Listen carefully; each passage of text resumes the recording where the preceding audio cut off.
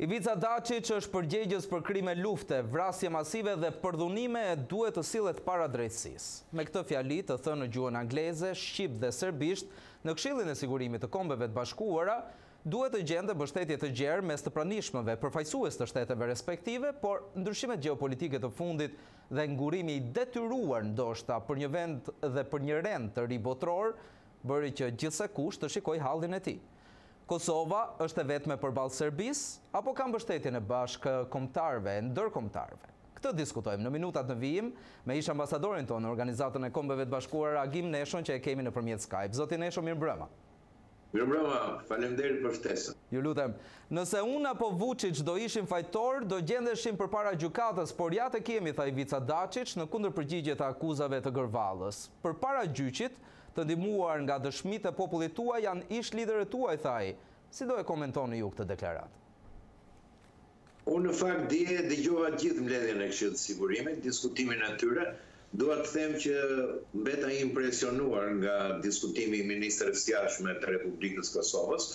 Ishte Një deklaratë e mirëmenduar, mendoj që përpara një organi që vërtet deri tani ka qenë vendi ku zgjidheshin të gjitha problemet e paqes dhe stabilitetit në botë, po pas sulmit që Rusia dhe invazionit që bëri ndaj Ukrainës, një nga vendet e pesëshes që mban të drejtën e vetos në Këshillin e Sigurimit e ka kthyer këtë organ tepër të rëndësishëm të OKB-së në një organ irelevant, pa funksion. Secili ushtron veton e tij dhe zbaton axhendën e tij. Prandaj mendoj që politika e jashtme e Kosovës mbajti një qëndrim të fortë, mbajti një qëndrim duke paramenduar që nuk është organi që do të negociojë zgjidhjen e çështjes së saj, Por nga ana tjetër, kemi kemi parasysh që diplomacia ruse jo shumë larg, disa ditë përpara,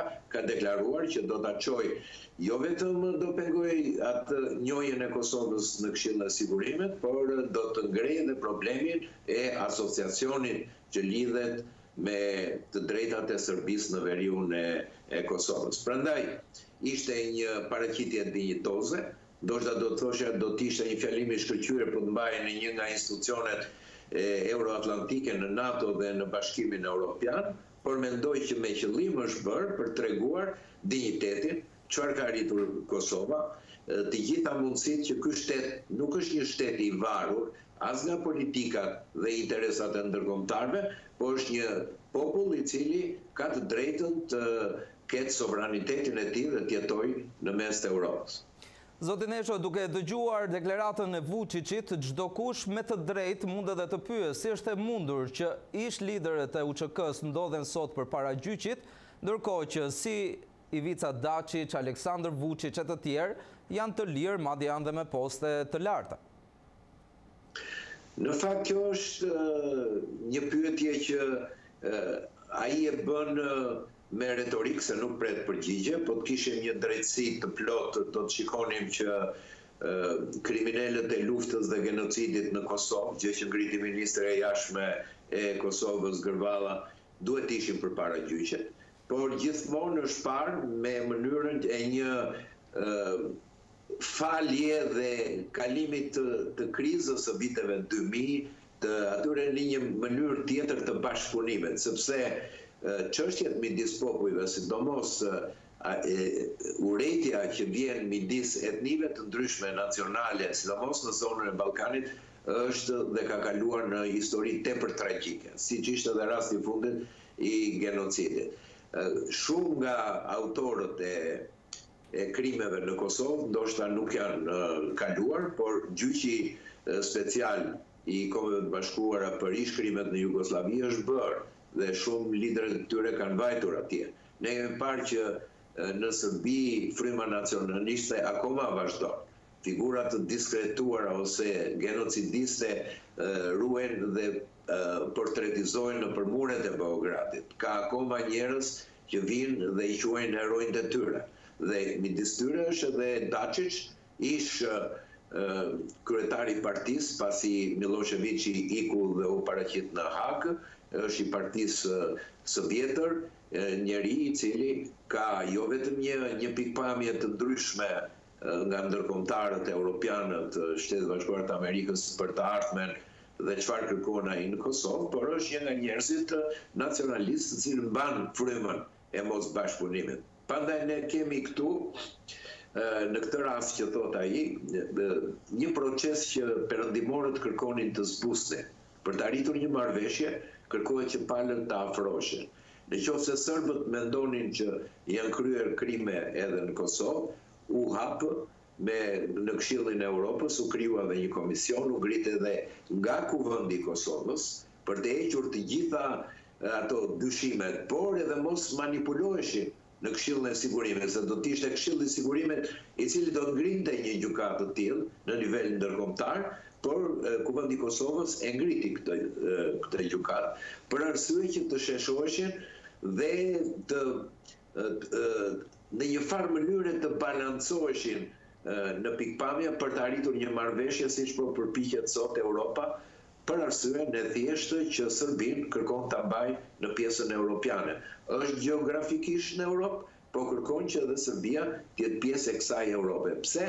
Për arsye sepse po të jetë një Sërbi, siç vazhdon deri tani një satelite e Rusisë, bashkë me pjesët e tjera që influencon siç është Republika Sërpska por edhe vende të tjera ku politika sërbe është tepër aktive në Ballkan, do të krijojë një zonë të errët ballkanike që do të krijojë probleme akoma më të më të forta për Europën dhe ndoshta në kushtet që Rusia kërkon të disbalancojë sigurinë europiane dhe të krijojë një rend të ri ndërkombëtar do të jetë një një konsum tepër i madh i i energjive, një problematikë e shtuar për Europën, po dhe për Shtetet e Bashkuara të Amerikës. Prandaj, po. Zoti Nesho, mbetemi pak te takimi i djeshëm po në OKB, sepse teksa njoftoi përfundimin e misionit të UNMIK në Kosovë, përfaqësuesi i Shteteve të Bashkuara të Amerikës, KR, Jeffrey DeLaurentis i përgëzoi të dyja shtetet për Më lejoni ta perifrazoj marrjen e hapave përpara për marrëveshje ligjërisht të detyrueshme. Në të njëjtën mbledhje ku Serbia u zotua se do të votojë kundër për Kosovën dhe kërkoi aleatët të bëjnë të njëjtën gjë në Organizatën e Kombeve të Bashkuara. Çfarë mund të themi për situatën e krijuar? Në fakt, akoma në mënyrë artificiale, Nuk është vetëm Serbia, se Serbia nuk ka forcë në Këshillin e Sigurimit, por Rusia që mban dymbëdhjetë dyzet e katër rezolutën që ndodhi pas konfliktit të madh dhe luftën kundër genocidit që rregulloi marrëdhëniet midis Kombeve të Bashkuara edhe vendeve për të sjellë paqen dhe stabilitetin në Ballkan. Kërkojnë ta mbajnë në mënyrë artificiale dhe kjo rezolutë do të shkojë deri në kohën kur Këshilli i Sigurimit do të njohë me drejtat plota si një subjekt i drejtës ndërkombëtare, Kosovën si një nga shtetet përbërëse të Organizatës së Kombeve të Bashkuara. Prandaj këtë proces nuk e kemi arritur akoma, për arsye sepse Rusia, por edhe Kina janë pengesa me anë të vetos së tyre, është ka patur një moment shumë të mirë përpara se të arrihej shpallja e pavarësisë dhe Republika e Kosovës, kur u propozua plani Ahtisar për të patur një qëndrim në Këshillin e Sigurimit, vetoja ruse e hodhi poshtë. Tani rusët përpiqen të ta mbajnë këtë një konflikt të hapur për të pranuar dhe për të përdorur situatën në Ballkan si një precedent për të zgjidhur të gjitha problemet që kanë lidhje me hapësirat ruse. Prandaj është Rusia që e mban këtë gjë. Mendoj që UNMIK-u më gjithmonë e më tepër nuk duhet të kishte ekzistuar. Në diskutimet që u bënë në Këshillin e Sigurimit, përfaqësuesi i Britanisë së Madhe tha dhe ka insistuar edhe vite më përpara që UNMIK-u mos veprojë më, janë elementë të tjerë të mbikëqyrjes si është EULEX-i, forcat e NATO-s prezente atje për të ndihmuar, por shteti është një shtet sovran dhe shumica mbi njëqind shtete të Europës e njohin Republikën e Kosovës dhe më gjerë, shtete të tjera në botë. Prandaj, UNMIK-u ka qenë gjatë fazës tranzitore kur Kosova po përpiqej të ndërtonte institucionet demokratike të saj. Në këtë kuptim misioni i UNMIK-ut do të vazhdojë për sa kohë që dymbëdhjetë dyzet e katër do të ekzistojë, kur çështja e Kosovës me drejtën legjitime do të rikthehet për t'u diskutuar dhe u pranuar në Këshillin e Sigurimit si një anëtar me drejta të plota. Unë mendoj që Kjo tregoi që edhe diplomacia kosovare ishte shumë e ashpër ndaj diplomacisë sërbe. Se po të shikosh në një plan, dukej sikur ishin nuk do të arrihej asnjëherë një marrëveshje dhe ashtu siç e tha dhe përfaqësuesi amerikan, ne kërkojmë që çështjet e normalizimit të marrëdhënieve midis Serbisë dhe Kosovës dhe diskutimet që do të zhvillohen në Bruksel duhet të bazohen në marrëveshjet e përparshme të Brukselit, po edhe të Ohrit dhe zbatimi i tyre deri në jo njohjen reciproke të dy shteteve që janë me të drejta të plota. Domethënë, kjo është pikësynimi kryesor i Shtetet e Bashkuara të Amerikës dhe Bashkimit Evropian. Do të ketë një fazë të ndërmjetshme? Sigurisht do të ketë.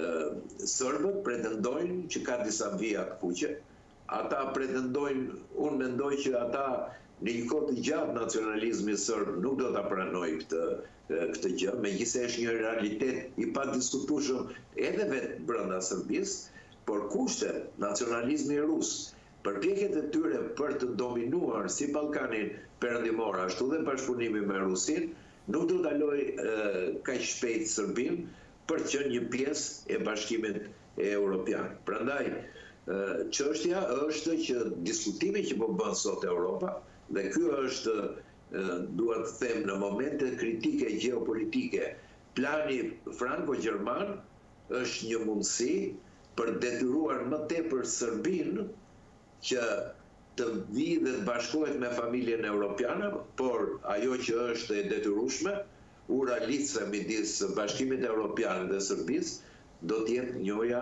e shtetit të Kosovës. Nuk mund të kalojë pa këtë njohje, nuk mund të krijojë një konflikt tjetër, por që duhet të normalizohen marrëdhëniet midis dy vendeve, kjo është sa më shpejt për arsye që influencat ruse të jenë sa më të vogla dhe impakti i Rusisë dhe politikat e saj revizioniste mbi Ballkanin të jenë minimale. Të jetë minimal.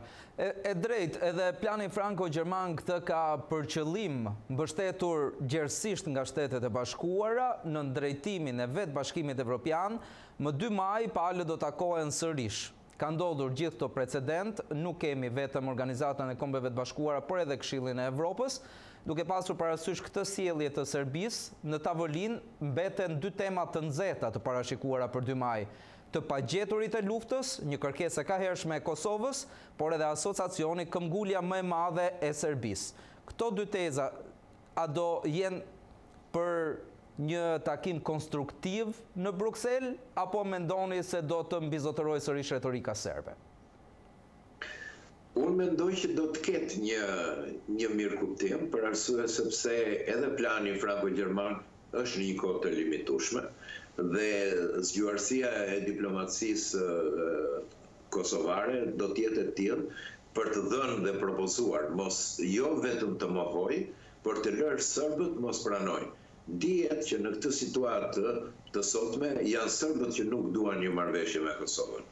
dhe nuk janë shqiptarët. Prandaj këtë mundësi politika dhe diplomacia kosovare duhet ta shfrytëzojë. Është çështja e asociacionit. Ata e kërkojnë me insistim. Ata e kërkojnë për arsye sepse duke marrë asociacionin dhe pa njoftur Kosovën, ju duket sikur është një fitore e madhe e diplomacisë sërbe.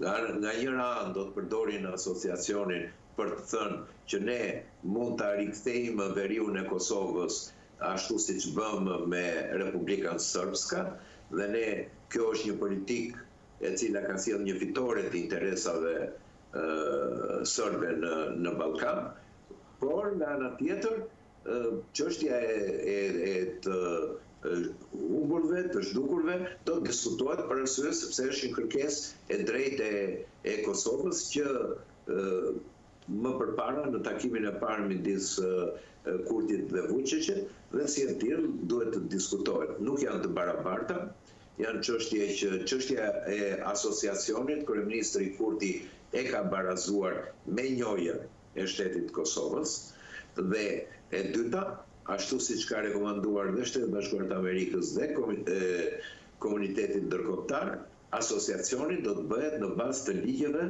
dhe respektimit të Kushtetutës së Kosovës.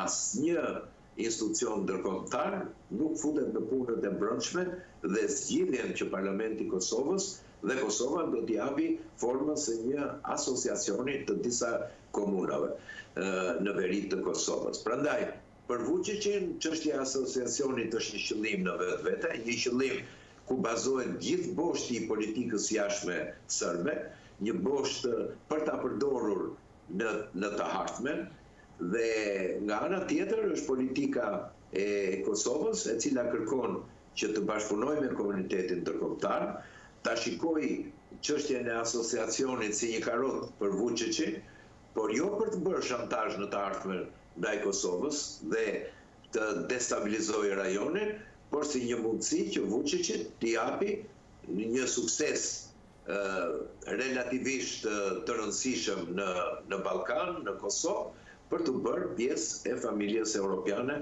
dhe të shikojë nga Perëndimi. Zoti Nesho, në Prishtinë janë të ndarë, si ndër analistë ashtu edhe ndër politikanë, për rolin e Qeverisë Kurti në lidhje me procesin e normalizimit të marrëdhënieve, hapat e ndjekura deri më tani, mënyrën se si këmbëngulte në fillim kundër Asociacionit dhe pastaj e liroi atë apo edhe lëvizjeve të tjera.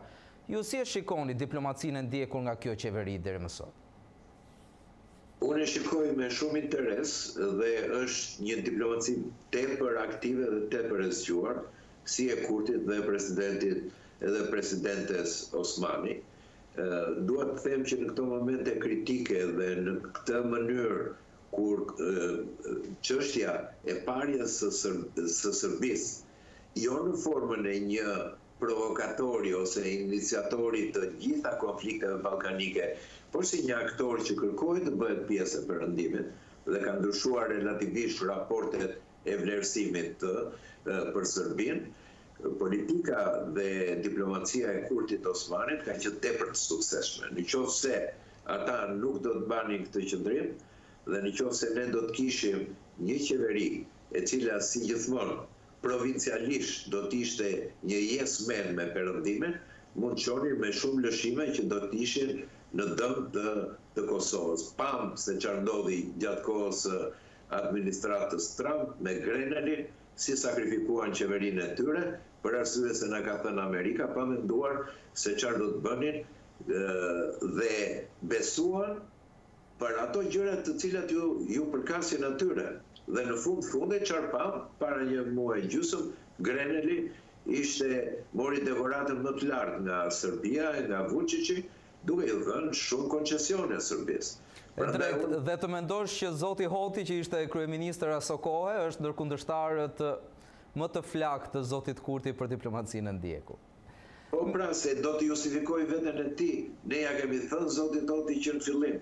Nuk duhet të jetë naiv dhe të besojë çdo gjë, sepse vetë amerikanët të vlerësojnë edhe ndërkombëtarët, kur ti për çështjet kryesore të sovranitetit dhe interesave të kombit, ti mban qëndrime principiale, të bazuara në vlera, në Kushtetutë, në ligje ndërkombëtare dhe të tjera.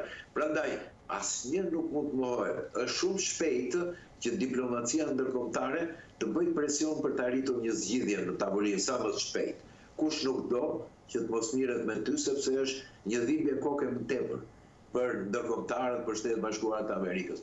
Por, secili nga palët do të ruajë interesat e tij. Nuk mund të bëhet thjesht se dua unë dhe ti duhet të pranosh çfarë të propozoj unë. Prandaj, Në këtë kuptim, unë e vlerësoj shumë qëndresën me tepër zgjuarsi, me përkushtim, të Osmanit, të Kurtit dhe në këto momente kanë dhënë rezultate të jashtëzakonshme. Shikoni se si është katandisur Vuçiçi. Nga dita në ditë humbi edhe zgjedhjet me mos pjesëmarrjen u detyrua komuniteti ndërkombëtar t'i njohë, për arsye sepse nuk mund të krijojë precedente të tilla tashmë për Vuçiçin, pavarësisht se e ka toleruar shumë. Po të shikosh gjatë gjithë kësaj kohe, pjesa më e toleruar ka qenë Vuçiçi dhe pjesa kosovare e Kosovës ka qenë gjithmonë që duhet të zbatonte dhe të hapte rrugë ndaj kokëfortësisë dhe qëndresës së tyre, bëhej për një qëllim gjeostrategjik. politik ne e kuptojmë, po qëndresa e tyre e diplomacisë kosovare ka qenë plotësisht e justifikuar dhe rezultative. Zoti Nesho, kemi mbërritur në fund të minutazhit, por para se t'ju lë të ikni, dua patjetër një opinion sa më shkurt, ju lutem, në lidhje me Ukrainën. E them këtë sepse nisem nga një vizitë e pak kohëve më herët, kur një deputet i Parlamentit të Ukrainës tha se Kosova do të ketë mbështetjen e vendit të tij Por, në Këshillin e Evropës, pak ditë më parë, vota ukrainase u ndal në abstenim. Çfarë komenti keni për këtë? Në fakt, Ukraina nuk e ka njohur Kosovën. Çështja se si politika kosovare gjatë kësaj kohe ka bashkëpunuar me komunitetin ndërkombëtar, ka dënuar sulmet, ka qenë përkrah Ukrainës, kjo ka bërë një kthesë të madhe në Ukrainë. Dhe kthesa sigurisht do të vijë vota Abstenimi ishte një votë që tregon që Ukraina shumë shpejt do të jetë drejt njohjes së Kosovës dhe do të jetë një një politikë tepër aktive. Nuk mund të kalojnë pozicionet në votime, asnjëherë nuk kalojnë diametralisht nga një pozicion jo në një pozicion direkt të kundërt, për arsye sepse kjo tregon dhe stabilitetin, pjekurinë dhe atë qëndrueshmërinë. qëndrueshmërinë e politikës së jashtme të një vendi që është serioz. E kuptoj. Zoti Nesho, faleminderit që ishit me ne sonte tek Ditari.